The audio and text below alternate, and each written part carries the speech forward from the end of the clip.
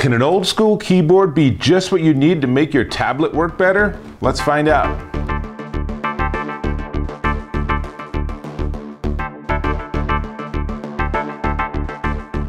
Dave Taylor here, and I want to talk about keyboards. Now, you might be talking to your computer. You might actually spend a lot of time dictating and actually using your voice. Very cool.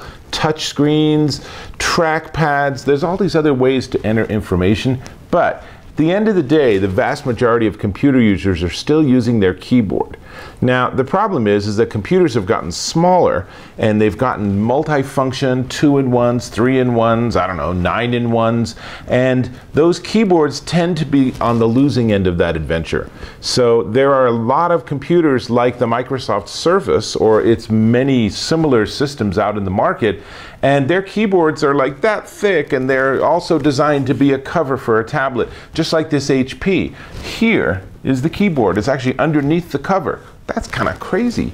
But the thing is, is that I don't really like using those keyboards. I'm an old school guy and I like an old school keyboard. So when Cherry actually sent me what they call their MX Silent, that's this guy, I thought, well, this will be interesting. It's kind of big. It's kind of an old school hardwired USB keyboard with the function areas and everything. And I thought, I'll give it a try. And not only that, I thought I'll give it a try with one of my most modern systems. So this is my HP and you know, it's designed to be super small, but what if I want to use a big keyboard? Luckily, it has a single USB connection. Now, you want to talk retro, Cherry includes a PS2 adapter. You probably don't even know what a PS2 adapter is, so probably you don't need it. but this is a straight USB keyboard. This is something you could plug into a 1990s 90s era computer. It would work great. Now, this is actually based on their super popular, let me get the name right, G80-3000. And Cherry has not only been making keyboards forever, but they make the mechanisms that other keyboard companies use. So they're really, really good at this. The thing of it is, is that after all these years of using smaller keyboards, this feels really big. But, you know, you can certainly type fast. You know, is it quieter? Well, it's quieter in the sense that as a mechanical keyboard, it's not loud but there's still there's a physical mechanism going on here and so there's only so much quiet they can do. Now you can imagine if you're in a big room with 40 other people using keyboards like this it's not going to be quiet. There's still going to be lots of clicking going on. But it is quieter maybe that's the way to phrase it. Now let me tell you some of the things about this keyboard First one is they have what they call N key rollover, which is super handy because you can press 14 keys at once and it'll get all of them. In testing, most people see somewhere between 6 and 10 keys. There's actually an N key rollover test you can download from Microsoft. I don't know why you would need this, honestly. Last time I've tried to hit like seven keys at the same time, it was because I accidentally leaned on the keyboard.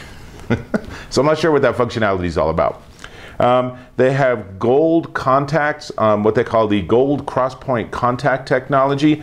You know, these guys, their layout might not be sexy, but the keys themselves Cherry really knows how to make a keyboard that's going to last for like the next hundred years, and this really shows it. Now the funny thing is, is that they make the MX Silent in two colors, and the difference between the keyboards is actually how much force you have to exert to get the key to register. And I, I just love these sort of geeky science things. So the red one, you have to exert 45 centinewtons. Whereas this black one, you have to exert a crazy, huge 60 centinewtons. What's a centinewton? I have absolutely no idea. But what I will say is that this keyboard's pretty sweet. It's a pretty nice feel to it.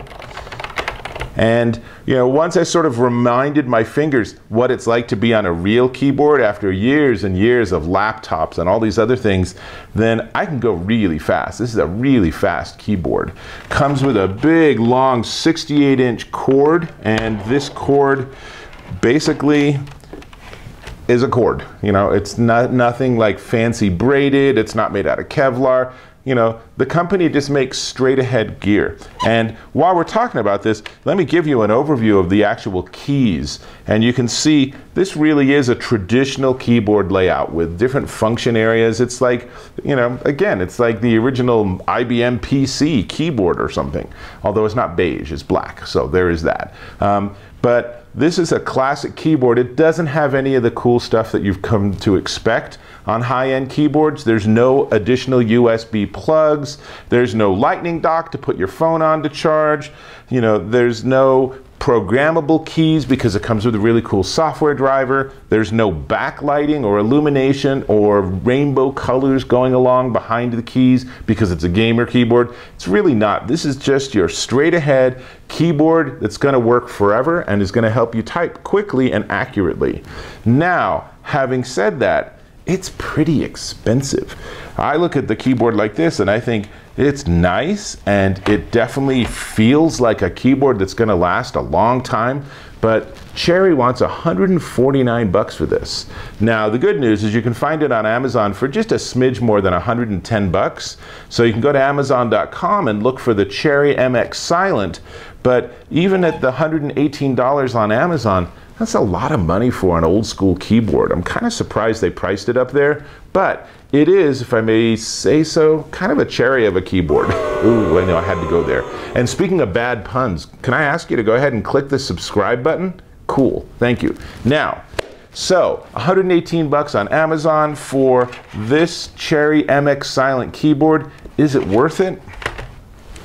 That's a hard one to say. I gotta say, for most people, I will think that there are other less expensive alternatives out there. And I know for me, I rarely use an external keyboard in any system that I use. And when I do, I often want to have one that's Bluetooth because seriously, cords, wires, this feels so like 1997.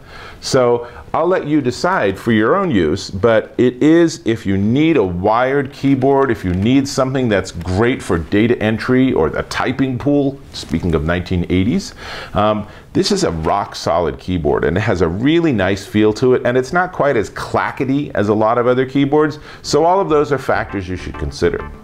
Is Dave Taylor. I'm getting back to my next novel and I'll catch you in my next video.